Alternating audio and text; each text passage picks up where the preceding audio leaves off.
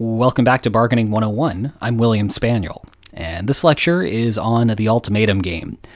There are actually two different versions of the ultimatum game a continuous one that we'll be covering later on in this course, and a discrete one that we're taking care of today. This is something that I cover at length in Chapter 2 of the book. You can check out the video description for more information about that. All right, remembering back to last lecture, we were looking at a situation where Albert and Barbara were negotiating over Barbara's car. Barbara valued that vehicle at $4,500, whereas Albert valued it at $5,000. Maybe that's because Albert really needs a car to get to work, and Barbara doesn't actually need to own a vehicle at all. And because we're starting simple, the simplest version of bargaining is an ultimatum game. So Albert is going to make an ultimatum offer. Essentially, he's going to say, Hey, Barbara, here's a price for the vehicle. You can either sell me the car at that price or we're done negotiating forever.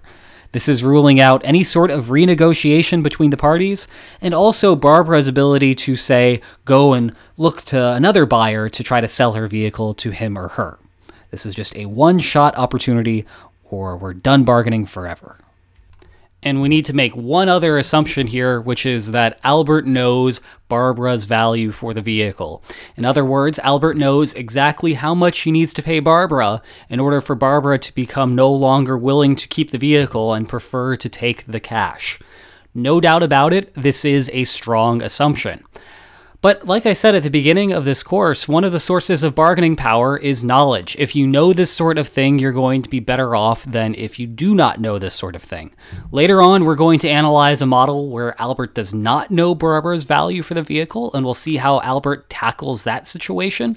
But before we can do that, we need to actually understand what happens when Albert is in an easier situation and does have that sort of information. So again, we're starting small, we're starting simple, we're starting easy. We're going to assume assume that Albert knows Barbara's value for the vehicle. We're going to figure out how Albert handles this situation. And then later on in this course, when we are prepared and we have a better idea about how these bargaining situations work, we'll look at the situation where Albert no longer knows Barbara's value for the vehicle. And the way we're going to analyze these sorts of bargaining situations, as game theorists at least, is to draw out game trees. These game trees are really useful for understanding the flow of play, the actors involved, the sort of actions they can take, and also their payoffs associated with any given action. So let's stop for a moment and actually understand what's going on in this game tree. There is a lot of stuff going on here. Well, there are two parts to this. We have Albert at the beginning and Barbara at the end. Let's look at Albert's half, the top half of the game. So at the very top, we see Albert. That indicates to us that Albert is making the first move of this game. And we see right below Albert's name an arc between $0 and $5,000. That indicates that Albert is choosing a value between $0 and $5,000, which we're going to call X. And that value is going to be the offer to Barbara. Of course, he could offer a negative value, but that's not actually going to happen because if he said, Hey, Barbara, you need to pay me money in order to take your vehicle, obviously we know what's going to happen there. Barbara's going to say, Heck no. And Albert is never going to offer more than $5,000 because $5,000 is how much he values the car. So that takes care of the first half. The bottom half is Barbara's move, and we see that because we have, well, Barbara's name right there. Barbara is a little bit different from Albert's choice. Instead of having that arc like Albert had, Barbara has just an accept or reject decision. So, just to be really clear here, up top here, we have that arc between $0 and $5,000. And because we're looking at a discrete version of the ultimatum game, that means Albert can offer $0, $1, $2, $3, all the way up to $5,000. So, this is actually summarizing a whole bunch of different possible situations that Albert could choose from. But again, Barbara's decision is much simpler. She sees an offer from Albert, so she knows what offer Albert is giving to her, and then based off of that Albert or based off of that offer that Albert makes to her, she chooses whether to accept or reject. If she accepts, we see one set of payoffs. If she rejects, we see another set of payoffs. Notice that these payoffs are color coded. So if Barbara accepts an offer, then her payoff, and actually his payoff too, Albert's payoff, depends on that offer X. So Albert's payoff is $5,000 because he buys the vehicle, subtracted by X number of dollars because X number of dollars is how much he has to pay Barbara to buy the vehicle. Meanwhile, Barbara receives a flat X dollars because X is the amount of dollars she's taking from Albert when Albert sells her the car. On the other half of this, we have Barbara rejecting, and in this case, there is no sale made, which means Albert ends up with no money changing hands. So he is not buying a car and he's not giving up any money to do it. So he just gets a flat zero. And Barbara, because she continues to own the car that she values at $4,500, gets a payoff of $4,500. So now that we have understood the flow of this game and a little bit about the payoffs that the players have associated with this, we can figure out how to solve the game. Now, there are usually two different ways people go about trying to do this, one of which is much better than the other. The temptation for most people is to analyze the game from top down. And the reason that this is tempting is because, of course, that is how the game will eventually be played. Albert will begin by making an offer, and then Barbara will accept or reject that offer.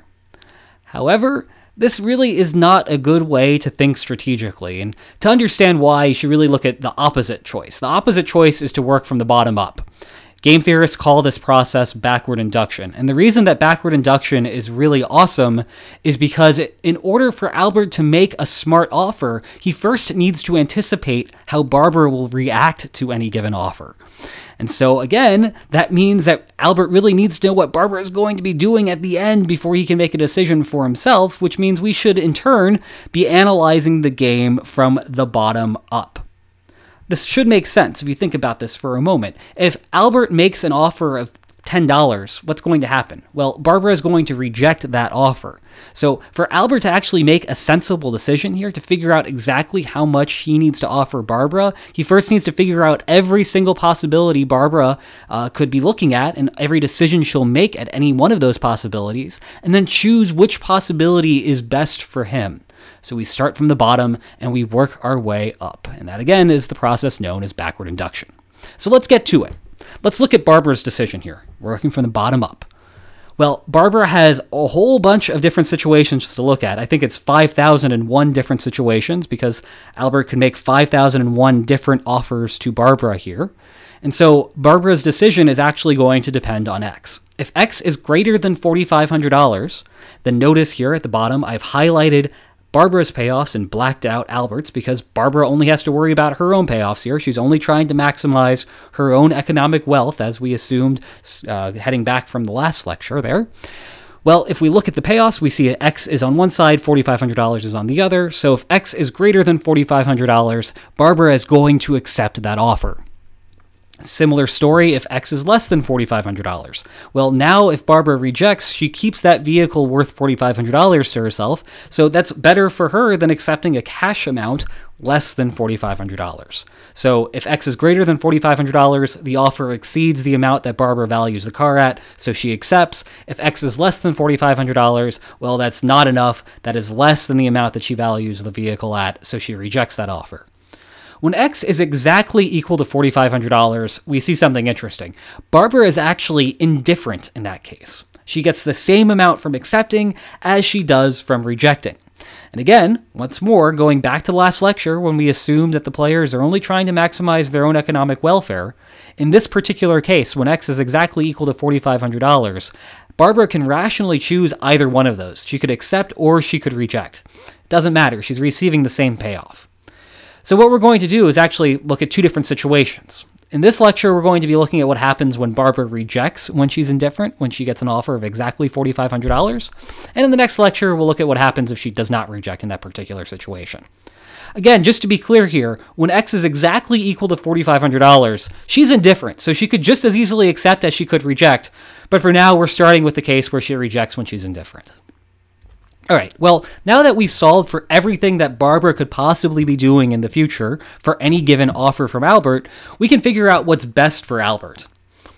Albert has a decision. If he makes less an offer of less than $4500, we know what happens. We know Barbara rejects that amount, and we can now look at Albert's payoff here. We can highlight Albert's payoff and ignore Barbara's payoff. The reason we can ignore Barbara's payoff is precisely because we worked from the bottom of the game tree and we went up. We used this process of backward induction, so now we no longer even need to pay attention to Barbara's payoffs. That's already been incorporated in what goes on based off of what the, we looked at in the last slide.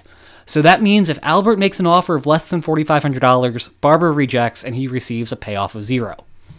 And again, going back now a couple of slides ago, if X is exactly equal to $4,500, we supposed in this case that Barbara would reject, in which case Albert once again receives an, uh, a payoff of $0 because nothing is exchanging hands. Finally, if X is greater than $4,500, Barbara accepts, and now Albert's payoff is $5,000 because he owns the vehicle, minus X dollars because he has to pay that amount to purchase it. Well, there are a whole bunch of different possibilities here. X could be any value greater than $4,500, and Albert gets a particular payoff for that, but it actually depends on that offer value because X is in his payoff. And once again, notice that we're ignoring Barbara's payoff, and that's fine because we've already incorporated Barbara's decision into this previously using backward induction. So let's go through a bunch of different situations. Uh, first, Albert might offer $49.99, $4,999. In that case, we know Albert will get Barbara to accept, and he will receive a payoff of $1. But notice that he could actually shrink that offer by a little bit, go down to 4998, still have Barbara accept, and now he receives $2. So that means it's not the case that $4,999 is the best offer price for Albert. 4,998 is actually better for him. But 4998 isn't the best one for him because 4997 is better. In this case, Barbara will still accept, and now Albert will receive $3. But we can continue this logic a whole bunch of times over until finally we get to 4,501. In this case, we still have Barbara accepting, and we have Albert receiving a payoff of $499, which is much better than any offer price that was higher. But notice that if Albert now cuts that value by any more, then he will go to an offer that Barbara will reject. And in that case, Albert will receive less money than the $499 in economic benefit that he's getting here. So this is better than any other possibility for him. So actually, this is what Albert should do. Albert should offer $4,501, and Barbara should accept that. Meaning Albert receives $499 in the relationship, and Barbara gets $4,501 because that's how much Albert is paying to her to buy the vehicle.